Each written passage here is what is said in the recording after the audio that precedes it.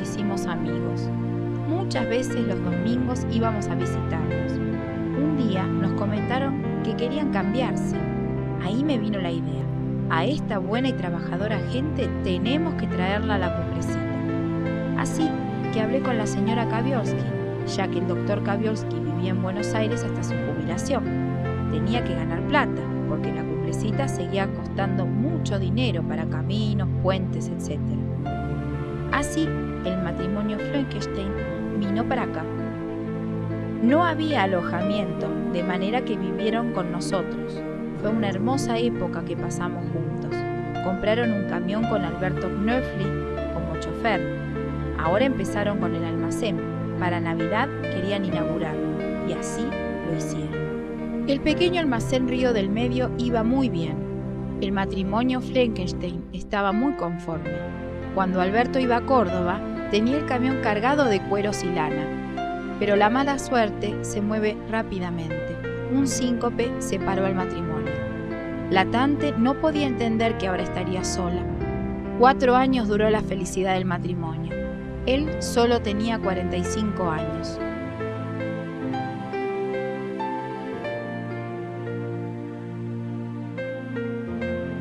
El doctor Kaviolski vendió muchos lotes. Se construyeron casas, otro hotel, las verbenas. Los propietarios Hans y Sonia Lesner eran austríacos. Se integraron muy bien a nuestra comunidad. Helmut Hans tuvo mucho trabajo. Onkel Hans, como lo llamaban los chicos, era un soltero muy solicitado. Venía una dama a caballo y decía, quiero ir al Champaquí, ¿conoce el camino? Rápidamente Onkel Hans estaba dispuesto y acompañaba como guía de montaña. Pero su hermano más joven quería hacerle un bien diplomáticamente. Le había encontrado una novia. La trajo a Cumbrecita. Onkel Hans sabía lo que le esperaba, pero el amor es un poder del cielo. Se mudaron a su pequeña casa. Después de un año vino la pequeña Christine. Ahora estaban de a tres, una familia feliz.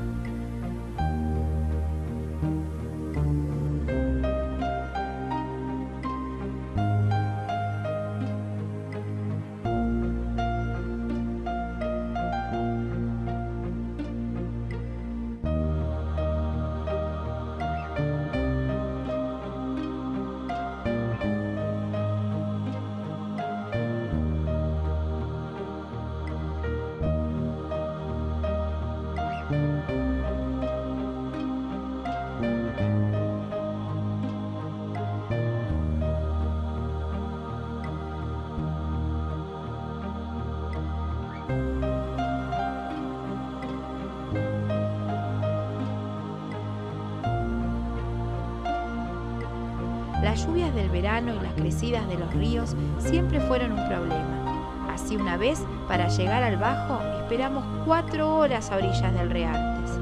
Ahora, el gobernador de Córdoba había decidido hacer construir un puente sobre el río Reartes, con la dirección de Helmut Kaviolski hijo. Fue una obra difícil, pero resultó un sólido puente, capaz de resistir a las más terribles crecidas. Alberto Knöfli traía con su camión y acoplado los largos tirantes de hierro. Con los medios más primitivos y a pulso se cruzaron los pesados tirantes. Nosotros los espectadores por supuesto que teníamos que estar presentes.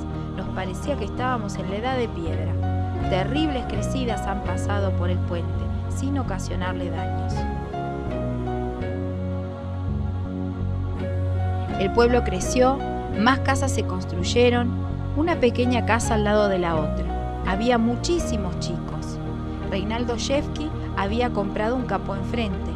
El propietario había construido una pequeña casa.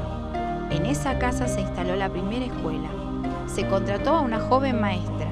Así comenzó la escuela en el año 1958. Fue un buen comienzo. Luego se construyó una escuela allí donde todavía está hoy.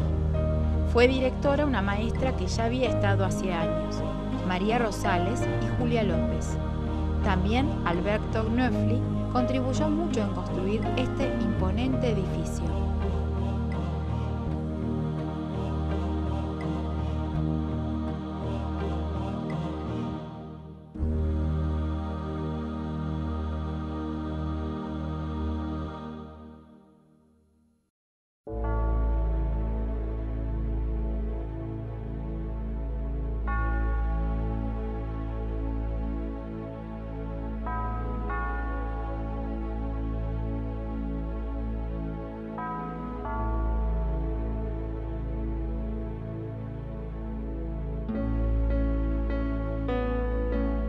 El arquitecto fue Helmut Kaviolski, el constructor Helmut Ans y el campanario o torre fue obra de Jorgensen.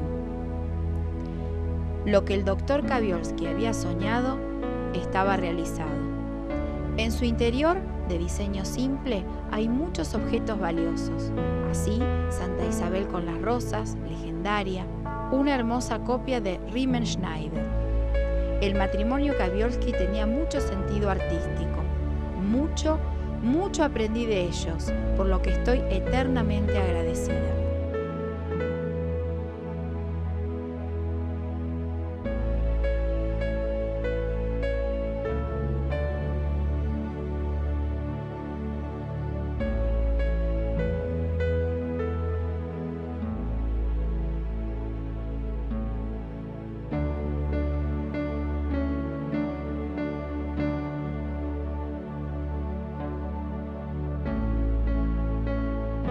Las bodas de oro del 7 de septiembre de 1968 del doctor Helmut Kaviolski y su señora Edwig, ese día también se inauguró nuestra pequeña capilla, en el pequeño cerro que ya desde hacía 40 años llamábamos el Cerro Capilla.